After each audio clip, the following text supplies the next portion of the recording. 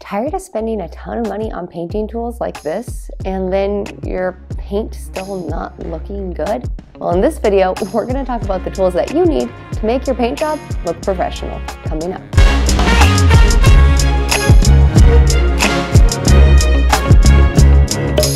Hey friends, welcome to Adulting with Esther, the show where we talk about the things that you don't learn in school. I'm Esther, and today we're going to be talking about the tools that you need to be able to make your paint job look really professional.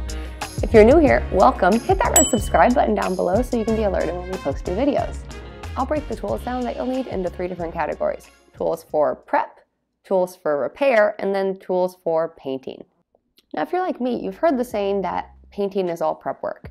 And until you actually invest the time doing the prep work properly, you'll never believe that. But once you do, oh my God, it will make your paint job so much easier. So check out these tools that I'm about to recommend to you. I promise you they're all down in the description, or you could probably find them at your local home improvement store like Home Depot or Lowe's. The first part of prep work is making sure that your work surface and area is clean. What you're going to need for tools in order to do that is tools to protect your items. So you're gonna need a drop cloth or some plastic. If you wanna go the free route, you can use an old sheet. Just remember that a drop cloth, like an old sheet, isn't waterproof or paint proof. So if you spill an entire gallon or maybe just a small quart of paint on it, it is going to soak through and damage whatever you have underneath it, be it a couch, hardwood floors, or even carpet. Also, depending on what you're painting, you might even elect to go with some brown paper. If you're choosing to go with paper or plastic, you're also going to need some tape. This will help you um, adhere it to your different surfaces. Painter's tape is recommended because it doesn't peel your paint off. Now that your surfaces are protected, you need to get them clean. When you're prepping a surface for painting, there's two different types of cleaners that you want to use. Either TSP if you're using latex paint, which is the typical one that you most people buy when they go to their home improvement stores, or you might want to use mineral spirits. Mineral spirits is the surface cleaner that you'll use if you're using an oil-based paint, so make sure you're using the appropriate cleaner for your surface. In addition to this, you're also going to need a bucket, you're going to need some running water, and you're also going to need a sponge or a cloth. I prefer the yellow sponges with the green backs. I think they um, last through the job a little bit longer.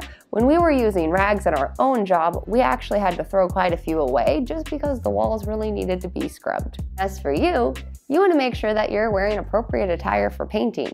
Make sure that you're wearing a shirt, shoes, and pants that you don't really care about. If you're going to be painting with a roller on a stick that's going to be above your head or on the ceiling even, you might even want to consider wearing a hat. And if you have glasses or goggles, wear those too. The little splatters off of those rollers get everywhere, especially in your hair. And nothing's worse than being in the shower and having to pick out each individual strand because you were just too lazy to wear a hat. So plan ahead. And speaking of planning ahead, you should protect your hands too. A lot of these chemicals are really dangerous. I think it's better off if you buy the heavy duty cleaning gloves like the yellow ones that you can get either at the Dollar Tree or at your local supermarket or even at your home improvement store. The thin little plastic gloves don't hold up as well when you're using the strong chemicals like TSP, especially if you really have to rub your surface aggressively.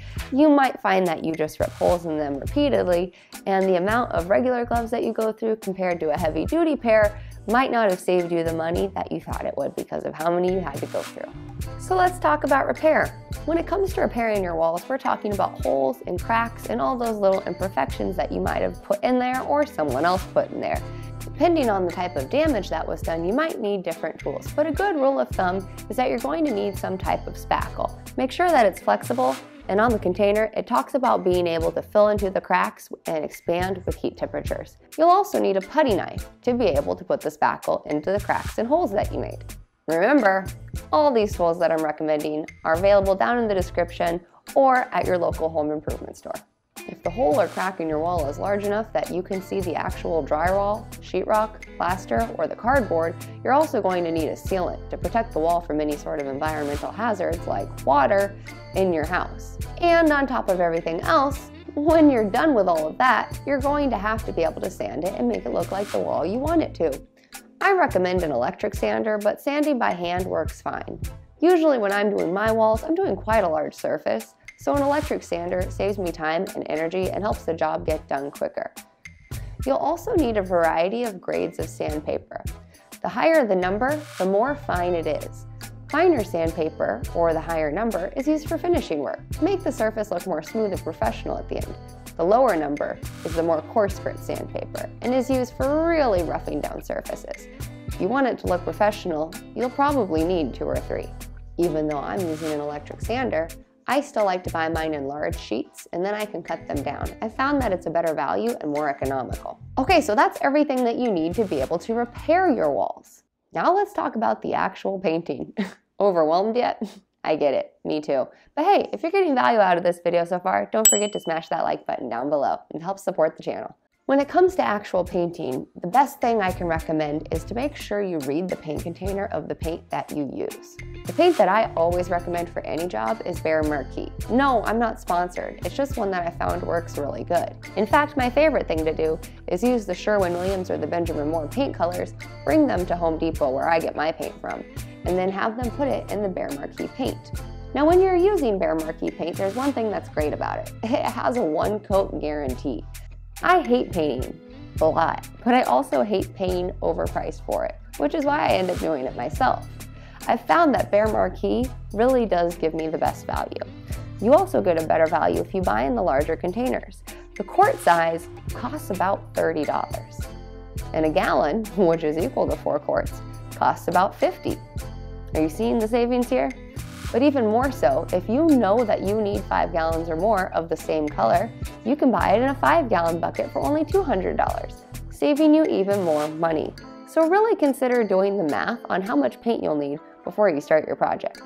Another thing that I love about Behr Marquee paint is they have that one coat guarantee like I talked about. Well, one time I used it and one coat was not enough. I was going from a darker color to a shade of white.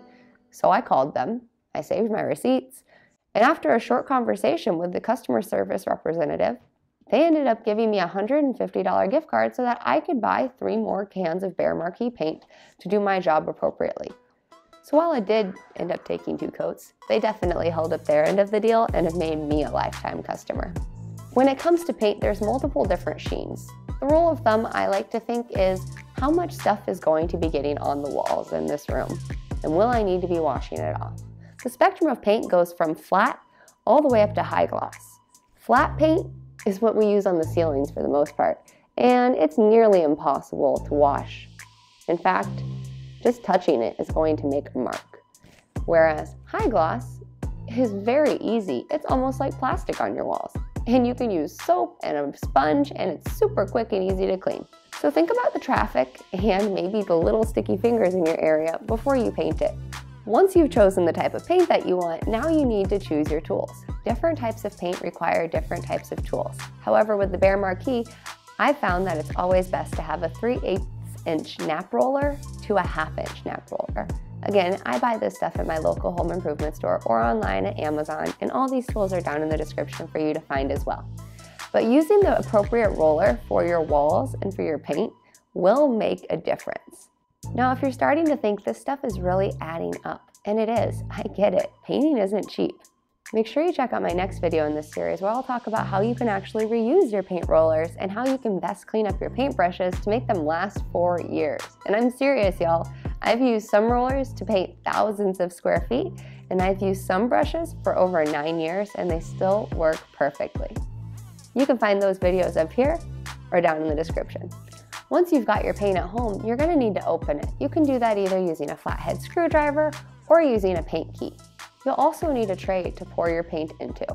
Over time, I've learned it's better to also have a liner for my paint tray. That way, if I'm in the middle of a job and I need to switch paint colors, but I know I'll go back to the other color later, or maybe I just don't feel like washing it out right now, I can switch the liners and have a new prepared paint tray ready to go without all the hustle of all the cleanup right at that moment. They range from 25 cents to $1.50. I think it's worth your time and money.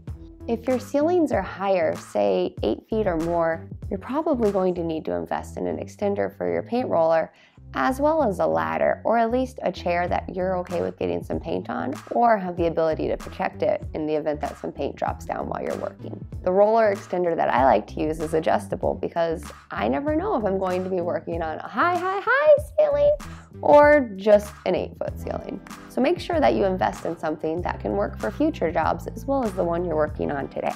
Now, if the amount of paint you're working with is only a quart or a gallon, you probably won't need this tool. But if you've invested in a five gallon bucket of paint, that's not something that you can carry around with you while you're walking around your house, unless maybe you're the Hulk.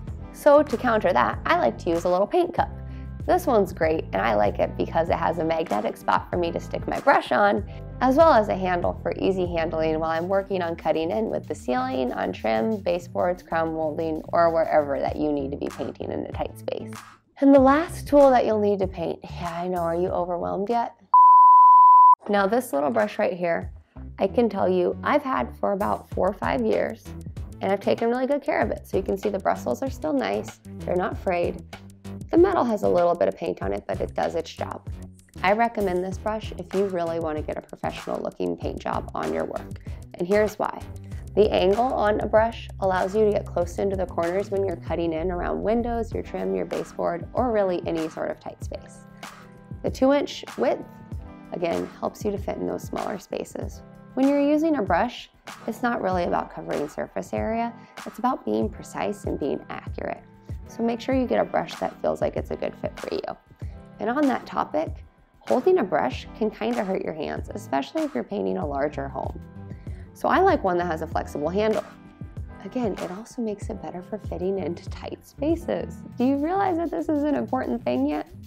For example, yesterday when I was painting my bathroom and I had to fit behind a light fixture that I didn't feel like removing, I was able to bend it and use, you know, some common thinking skills to be able to get the brush in there where I otherwise wouldn't have been able to with a wooden handle.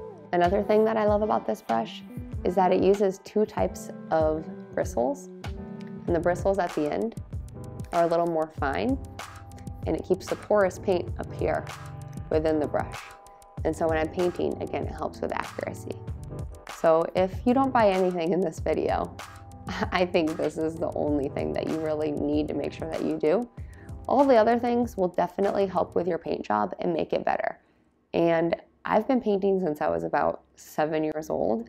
And trust me, I've learned a lot of things through my own inventive ways of being cheap.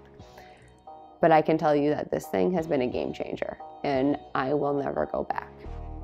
The other stuff, it will help you. It will make your cleanup easier, it will make your paint job easier, and it will definitely make it look more professional.